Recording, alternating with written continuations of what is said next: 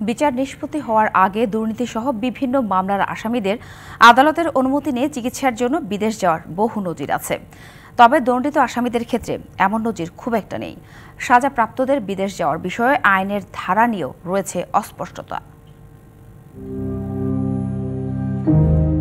তেভাগা আন্দোলনের নেত্রী বিপ্লবী ইলামিত্রের যাবজ্জীবন কারাদণ্ড কমিয়ে দশ বছর করেছিল হাইকোর্ট।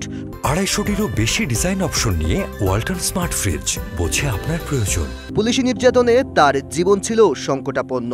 উনিশশো চুয়ান্ন সালে যুক্তফ্রন্ট সরকার গঠনের পর তাকে প্যারোলে মুক্তি দিয়ে উন্নত চিকিৎসার জন্য ঢাকা থেকে কলকাতা যেতে দেয়া হয়। বঙ্গবন্ধুকে হত্যার পর অভ্যুত্থান পাল্টা অভ্যুত্থানে ক্ষমতায় আসেন মেজর জেনারেল জিয়াউর রহমান। ছিয়াত্তর সালের জুলাই মাসে সামরিক আদালতের বিচারে ফাঁসি দেয়া হয় কর্নেল আবু তাহেরকে। একই আদালত জাসদ নেতা আসমা আব্দুর রব সহ বেশ কজনকে দশ বছর জেল দেয়া হয়।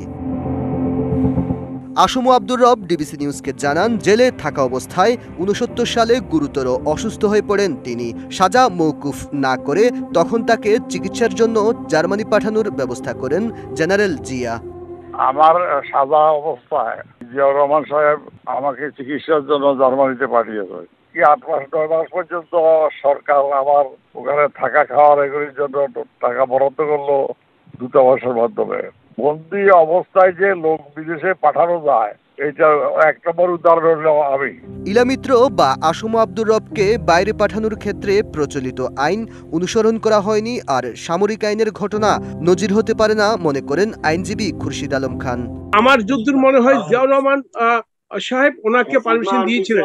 পুরো entire প্রসেসটাই not in accordance with law এটা কিন্তু কোনো আইনে কভার করে না। দুর্নীতির মামলায় দশ বছরের সাজা মাথায় নিয়ে দুহাজার বাইশ সালের ত্রিশে এপ্রিল চিকিৎসার জন্য থাইল্যান্ডে যান ঢাকা সাত আসনের সংসদ সদস্য হাজি মোহাম্মদ সেলিম। চার দিন পর অবশ্য দেশেও ফিরে আসেন। তার এই বিদেশ যাওয়া নিয়ে প্রশ্ন তুলে খোদ দুর্নীতি দমন কমিশন। আমরা তখনও বলেছি এটা পারে না। উইদিন এ উইক উনি চলে এসে এখানে লিভকে অ্যাপিল করে অ্যাপিল করার জন্য জেলে গিয়েছেন। ওটা উদাহরণ হিসেবে টানলেও দণ্ডিত আসামির ক্ষেত্রে এটা সম্ভব না। দু সালে আওয়ামী লীগ নেতা প্রয়াত মোহাম্মদ নাসিম এবং আব্দুল জলিলও সাজাপ্রাপ্ত হয়ে বিদেশে গেছেন এমন অভিযোগ তোলা হয় বিএনপির পক্ষ থেকে। আইন বিশেষজ্ঞ জেডাই খান পান্না মনে করেন সরকার চাইলে যে কাউকে বিদেশ যাওয়ার সুযোগ দিতে পারে। ফাঁসির আসামি হইলেও তাকে বেকসুর কালার দিতে পারে। এবং দিয়েছে যে সে ধরনের এক্সাম্পল আছে। হাজি সেলিমকে কনভিকশন দেওয়া হয়েছে। কনভিকশন যেই মোমেন্টে কোর্ট প্রোনাউন্স করছে, সেই মোমেন্ট থেকে কিন্তু সেটা এক্সিকিউট হয়। তাকে বলা হয়েছে যে, অমুক দিনের মধ্যে তুমি সারেন্ডার করো। তার অর্থই না যে দেশে, বিদেশে যাও। সে তো বিদেশে গেছে। Aditya Arafat DBC news Dhaka.